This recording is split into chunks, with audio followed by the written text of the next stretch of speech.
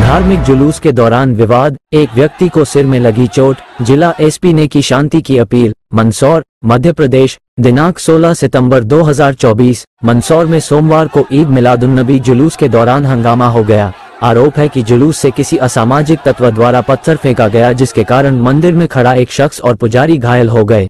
ये सूचना फैलते ही बड़ी संख्या में लोग मौके पर जमा हो गए।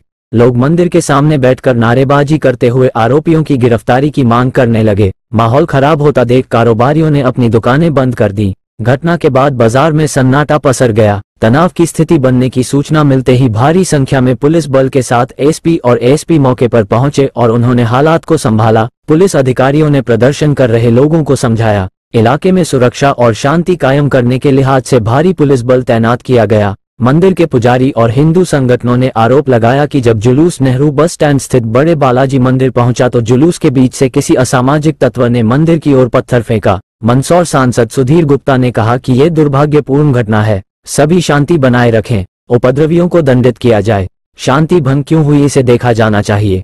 वहीं लोगों ने आरोपियों की गिरफ्तारी की मांग को लेकर मंदिर के सामने सड़क पर बैठकर हनुमान चालीसा का पाठ भी किया। शहर में ये जो एक इंसिडेंट रिपोर्ट हुआ है अभी आ, उसके लिए पुलिस थाने में एक कंप्लेंट दर्ज की गई है। और यही प्रयास चल रहा है कि अशांति का माहौल कोई शहर में बनाने की कोशिश ना करे। जो कंप्लेंट हुई है उसका सीसीटीवी फुटेज देख के वीडियोग्राफी देख के उस पर आगे की कार्रवाई सख्त सख्त की जाएगी। और आप सभी लोगों के माध्यम से मेरा ये निवेदन है सभी शहरवासियों से कि भ्रामक जानकारी पे किसी के कहे सुने पर या किसी के आह्वान देने पर ना बिलीव करते हुए प्रशासन के साथ शांतिपूर्वक शहर का माहौल बनाए रखें। धन्यवाद। मंदसौर शहर में भी एक शिकायत आई थी शिकायत अभी करवा रहे हैं फरियादी कि उनके साथ जो है, उनके सर पे चोट लगा है और पथराव की भी शिकायत कर रहे हैं तो उस वैधानिक कार्रवाई कोतवाली थाना पे एफआईआर जो है उसके तहत फरियादी की शिकायत पर एफ़ पंजीबद्ध किया जा रहा है। दूसरी पूरी तो पूरे शहर का जो माहौल है बिल्कुल नियंत्रण में है। किसी तरह की भ्रामक जानकारी या अफवाह पे लोगों से गुजारिश है उस पर उस पर ध्यान न दें।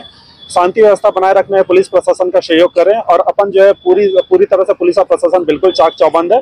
किसी तरह की घटना, किसी तरह की गलत मिस इन्फॉर्मेशन जो होती है उस पर तत्काल हमको पुलिस को भी सूचना दें और हमारा सहयोग करें इसमें पूरी व्यवस्था को कायम रखने में। प्रथम जानकारी। ये हमको अभी जो फरियादी है उनके द्वारा बोलना है कि उनके साथ जो है उनके सर पे चोट उनको डंडे से प्रहार हुआ है और पत्थर मारने की भी शिकायत की गई है। जिस पर जो अभी थाने पे ही है वो आवेदन अपना आवेदन दे रहे हैं।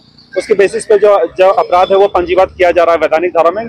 जो भी जो इस घटना में अगर शामिल पाए गए जो भी लोग हैं उनके खिलाफ कड़ी से कड़ी वैधानिक कार्रवाई की जाएगी, इसमें कोई दो दो मत नहीं है। लेकिन हम शांति व्यवस्था, शहर की शांति व्यवस्था बनाए रखने में सभी लोगों से गुजारिश करते हैं कि आप पुलिस प्रशासन का सहयोग करें।